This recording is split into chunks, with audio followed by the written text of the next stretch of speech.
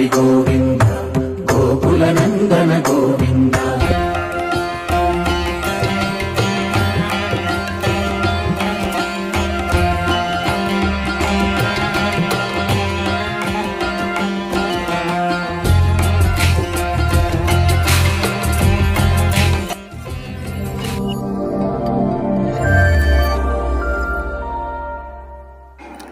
Friends welcome to Vikram Vihari channel. Friends ఇప్పుడు మనం present ఉన్న ప్లేస్ తిరుపతి తిరుమల కొండ మీద ఆకాశ గంగ దగ్గరికి అయితే వెళ్తున్నాను.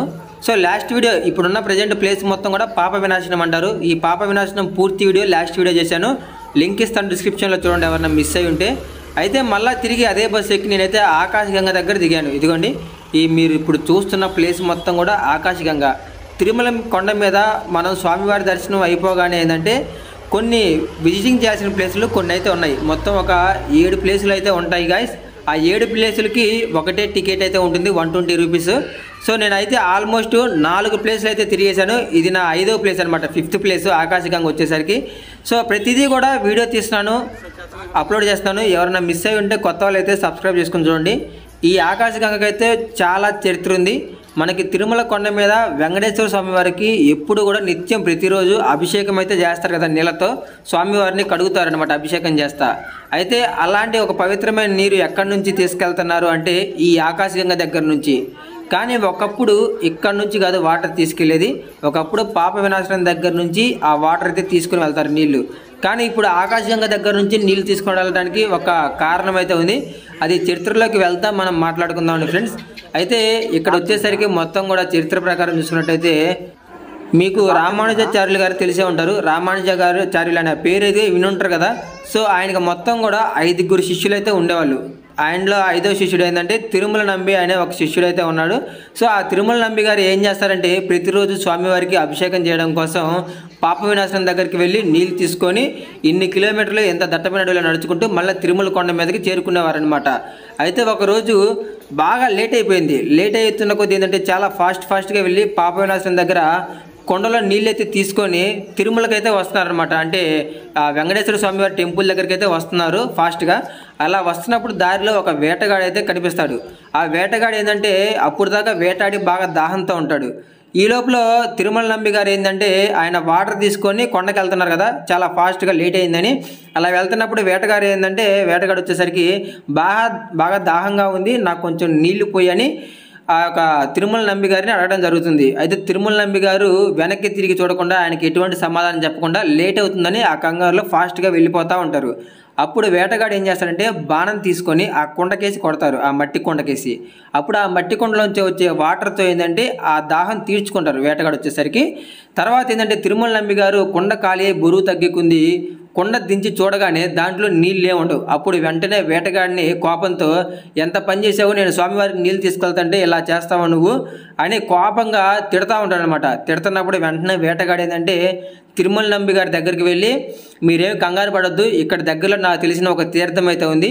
మీకు నీళ్ళు అక్కడి నుంచి నేను తీసిస్తానని చెప్తారనమాట అది ఇద్దరు కలిసి ఈ ప్రదేశానికి వస్తారు. ఆ వేటగాడు తిరుమల నంబి ఇద్దరు కలిసి ఈ ప్రదేశానికి ఈ చుట్టూ ఇక్కడ ఉన్నది చూసారా గుంతలోకి ఇక్కడికి వస్తారు నడుచుకుంటా. ఇక్కడికి వచ్చిన తర్వాత ఇక్కడ వాటర్ చుక్క కూడా ఉండదు. అప్పుడు తిరుమల నంబి గారు కోపంతో వేటగాడిని మళ్ళీ తిట్టడం మొదలు పెడతారు. అయితే అప్పుడు వేటగాడు కొంచెం ఆగండి నేను వాటర్ చూపిస్తానని ఆయన ఒక బాణం తీసి కొండలోకి వేయడం జరుగుతుంది. రెండు మా- రాళ్ళ మధ్యలోకి. ఇదిగోండి ఇక్కడ ఆ కనిపించే స్టోన్స్ అన్నమాట. ఈ రెండు రాళ్ళ మధ్యలోకి బాణం వేయగానే నీళ్ళు రాయిలోంచి ఒక జలధారలాగా వస్తుందన్నమాట చాలా ఫాస్ట్గా. అప్పుడు ఆశ్చర్యపోయి వెంటనే ఆ కొండలో వాటర్ పట్టుకునేసరికి ఇక్కడ స్వామివారి పక్కన వేటగాడైతే ఉండడు మాయమైపోతాడు ఆ వాటర్ పట్టుకోగానే కొండలోకి. అప్పుడు మళ్ళీ తిరుమల వెళ్ళగానే స్వామివారిని చూడగానే వెంటనే అర్థమైపోతుంది. ఆహా మారువేల మారువేషంలో వచ్చింది వేటగాటి రూపంలో వచ్చింది స్వామివారే అని అప్పుడు మళ్ళీ కూడా ఆయన చేసిన తప్పుని అక్కడ ఒప్పుకుంటాడనమాట. అయితే అలా జరుగుతున్న టైంలో మొత్తం ఆ యొక్క ప్లేస్లు ఇదంతా కూడా ఇక్కడే జరిగింది. అది చూడండి ఎట్లా ఉందో. చాలా ఎత్తైన ప్రదేశం. కింద లోపలికి దిగుతాము. టెంపుల్ వచ్చేసరికి కొంచెం పైన ఉంది ఇక్కడ వాటర్ వచ్చేసరికి ఫ్రెండ్స్ ప్రతి సంవత్సరంలో మూడు వందల అరవై ఐదు రోజులు ఇక్కడ వాటర్ వస్తూనే ఉంటుంది. ప్రతిరోజు అర్ధరాత్రి తిరుమల వెంకటేశ్వర స్వామి ఆలయం నుంచి ఒక ఇద్దరు ముగ్గురు పూజారులు గన్మ్యాన్లు అర్ధరాత్రి పూట వచ్చి కొన్ని బిందెలు తెలుసు కదా? మూడు బిందెలు మూడు కుండలు తీసుకుని వచ్చి ఇక్కడ వాటర్ ఒక ఆగుతో పట్టుకొని తీసుకుని వెళ్ళి స్వామివారికి అభిషేకం చేస్తారు. మూడు కొండలు మధ్యాహ్నం ఒకటి సాయంత్రం ఒకటి నైట్ గుడి తలుపులు మూసేసేటప్పుడు ఒకటి. ఇలా మూడు కుండల వాటర్ తీసుకెళ్తారు. ప్రతిరోజు రాత్రి నడుచుకుంటూ వచ్చి ఇక్కడ దాకా. అయితే ఇక్కడ వాటర్ చూడండి ఎంత అద్భుతంగా ఉన్నాయో. చాలా పవిత్రమైన వాటర్ అని చెప్తారు. ఒకటి పాప వినాశనం దగ్గర అక్కడ స్నానం చేస్తే పాపాలు పోతాయి అంటారు. ఇక్కడ వాటర్ తాగి తల మీద చల్లుకుంటారు చూడండి అందరు కూడా. అక్కడ రాళ్ళ లోపల ఎక్కడి నుంచో లోపల నుంచి వస్తున్నాయి వాటర్ మొత్తం కూడా. అందుకే దీన్ని ఆకాశగంగా తీర్థం అన్నారు. అదిగోండి. పైన టెంపుల్ చిన్న టెంపుల్. టెంపుల్లో వచ్చేసరికి స్వామివారి విగ్రహాలు ఉంటాయి కానీ ఇక్కడ మెయిన్ ఏంటంటే మనకి వాటర్. ఆ వాటర్ అనేది రాళ్ళ సందుల్లోంచి ఎక్కడెక్కడి నుంచో బయటికి వస్తూ ఉంటాయి. ఇప్పటికీ ఇప్పుడు కూడా ప్రతిరోజు రాత్రి ఇద్దరు గన్మ్యాన్లతో పూజారులు బిందెలు తీసుకొని వచ్చే ప్రదేశం ఇది. చూడండి ఎట్లా ఉందో. కానీ ఆ టైంకి ఇక్కడ మనల్ని ఎవరిని అలో చేయరు. ఏడు గంటలు దాటిందంటే ఒక్కళ్ళని కూడా ఇక్కడ ఉంచరు ఫ్రెండ్స్. ఎందుకంటే అందరూ కూడా తిరుమల కొండ మీదకి వెళ్ళిపోవాలి టెంపుల్ దగ్గరికి. ఇంకా బస్సులు కానివ్వండి కార్లు కానీ ఏది కూడా అలో చేయరు. కానీ అర్ధరాత్రి మాత్రం ఎవరు లేని సమయంలో పూజారులు ప్రతిరోజు వచ్చి అభిషేకానికి ఖచ్చితంగా వాటర్ అయితే తీసుకుని వెళ్తారు. కావాలంటే మీరు ఇన్ఫర్మేషన్ చూడండి. ఎవరైనా అడగండి కావాలంటే అదే చెప్తారు వాళ్ళు కూడా. సో ఇక్కడ ఏంటంటే ఇంత దూరం వచ్చినప్పుడు మనం కూడా ఖచ్చితంగా వాటర్ని టచ్ చేయాలి వాటర్లో దిగాలి. సో స్నానం చేసే వాళ్ళు స్నానం చేయొచ్చు కానీ చాలామంది ఏంటంటే వాటర్ తాగేసి కొంతమంది బాటిల్లో తీసుకొని వెళ్తున్నారు. నేను కూడా ఏంటంటే కొంచెం పైకెక్కి బాటిల్లో కొన్ని వాటర్ అయితే పట్టాను చూడండి. చాలా అంటే చాలా బాగుంది. కానీ ఎక్కడ జారి పడిపోతారని చాలా భయం వేసింది. కానీ చాలా స్ట్రాంగ్గా ఉన్నాయండి బండ్లు అయితే ఏం జారట్లేదు. ప్రతి ఒక్కళ్ళు ఎక్కి దిగుతున్నారు కదా. ఇదిగోండి అటు పక్క అయితే జనం చాలామంది ఉన్నారు. కానీ నేను ఇటు పక్కకు వచ్చి ఒక సన్నటి దార ఆ రాయిలో నుంచి ఎక్కడి నుంచి వస్తుందో అర్థం కావట్లా. ఒక చెట్టు రాయిలో నుంచి ఎక్కడో లోపల నుంచి ఒక చిన్న పైప్ దారి లాగా పైప్ లైన్ లాగా సన్నగా పడతా ఉండే సో దాన్ని ఇంక నేను బాటిల్ పెట్టేసి ఆ వాటర్ వరకు పట్టుకున్నా. చూడండి వాటర్ కూడా నేను ఎంత బాగున్నాయి అంటే చాలా బాగున్నాయి గాయస్ సో మళ్ళీ మనకు అక్కడ దగ్గరలో ఎక్కడ వాటర్ ఉండవు. ఇంక ఇక్కడే పట్టుకొని మేము మళ్ళీ తిరుమల కొండ మీదకి వెళ్ళిపోయాం. బాటిల్ నిండా పట్టుకున్నాను. కానీ ఎక్కడం బాగానే ఎక్కాను కానీ దిగడం చాలా కష్టమైపోయింది. జారిపోతుంది అనమాట సో దిగేటప్పుడు అటు నుంచి చాలా చాలా జాగ్రత్తగా దిగాలి. అది చూడండి పైన ఎంతమంది ఉన్నారో. కానీ ఇది ఏంటంటే చాలా అడవి అడవి లోపలికి చాలా దూరం కిందకి దిగితే కానీ మనకి ఈ ప్రదేశం కనపడదు. కానీ వర్షాకాలంలో అయితే ఇది ఒక పెద్ద వాటర్ ఫాల్స్ లాగా నీళ్ళు చాలా బాగా వస్తాయి కానీ చూడండి జనం ఎంతమంది ఉన్నారు.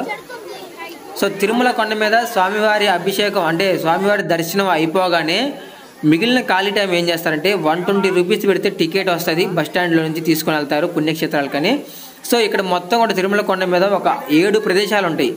పాప వినాశనం కానివ్వండి తర్వాత తి- శ్రీవారి పాదాలు శిలాతోరణం ఆకాశగంగా జపాలి తీర్థం ఇలా మొత్తం కొన్ని తీర్థాలకి టెంపుల్స్కి బస్సులు తిరుగుతూ ఉంటాయి. మీరు ఎవరిని అడిగినా కానీ డీటెయిల్స్ చెప్తారు. సో స్వామివారి దర్శనం అయిపోగానే వెంటనే ఇంటికి వెళ్ళకుండా తిరిగి ఇలాంటి ప్రదేశాలు ఉంటాయి. ఒకరోజు స్టే చేసి ఈ ప్లేస్లన్నీ తిరగండి. చాలా అంటే చాలా బాగుంటుంది. ఇన్ని టూరిస్ట్ ప్లేస్లు ఉన్నాయి కాబట్టి తిరుమల ఎంత ఫేమస్ అయింది. అందులోనూ చరిత్ర కూడా చాలా ఉంది. తెలుసుకుంటే మనకైతే ఒక రోజు సరిపోదు. అంత చరిత్ర అయితే ఉంది గాయస్ ఇంకా తర్వాత నేను బస్సు స్టార్టింగ్ చేసింది నేను పాప వినాశనం దగ్గరికి. డైరెక్ట్గా పాప వినాశనం వీడియో తీశాను లాస్ట్ వీడియో ఈ రోజు వచ్చేసరికి మధ్యాహ్నానికి ఆకాశగంగా దగ్గరికి వచ్చాను. ఇంకొంచెం సేపు ఇక్కడే ఉండి రెస్ట్ తీసుకొని వాటర్ తాగి ఏమైనా తినేసి తర్వాత పక్కనే మనకి జపాలి తీర్థం ఉంది. జపాలి తీర్థానికి అయితే వెళ్తున్నాను. మళ్ళీ సేమ్ అదే బస్ ఎక్కి. చూడండి ఇదే జపాలి తీర్థం. బస్సులు అయితే ఇదిగోండి ఇక్కడ దించుతారు. నేను ఇక్కడ దిగేశాను. ఇదే జపాలి తీర్థం. ఇక్కడ వచ్చేసరికి చాలా హిస్టరీ ఉంది. శ్రీ ఆంజనేయ స్వామి వారి దేవాలయం ఉంది కదా. తిరుమలలో ప్రతి ఒక్కళ్ళు ఏ ప్లేస్ చూసినా చూడకపోయినా జపాలి తీర్థానికి మాత్రం ఖచ్చితంగా వెళ్తారు. ఇది కూడా అడవిలో వన్ అండ్ హాఫ్ కిలోమీటర్ నడుచుకుంటూ వెళ్ళాలి. మనం బస్సులో వస్తే కారులో వస్తే కారులో కూడా కారు వాళ్ళు కూడా కారు ఇక్కడే పెట్టేసి వన్ అండ్ హాఫ్ కిలోమీటర్ ఎవరైనా కానీ నడవాల్సిందే. వన్ కిలోమీటర్ అయితే ఉంటుంది పక్కాగా. అడవిలో చాలా దూరం నడుచుకుంటూ వెళ్తుంటే ఆ యొక్క ప్రకృతి నేచర్ అయితే చాలా అద్భుతంగా ఉంటుంది గాయస్ చిన్న చిన్న జంతువుల అరుపులు పక్షుల అరుపులు ఎటు చూసినా వాటరు ఎంత బాగుంటుందో చూడండి. మామూలుగా ఉండదు. సో ఖచ్చితంగా మీరు కూడా తిరుమల రండి ప్లేస్లన్నీ విజిట్ చేయండి. ఎవరైనా కొత్త వాళ్ళు చూస్తుంటే సబ్స్క్రైబ్ చేసుకోండి. మన వీడియోస్ అందరికీ చాలా బాగా ఉపయోగపడతాయి. ఓకేనా గాయస్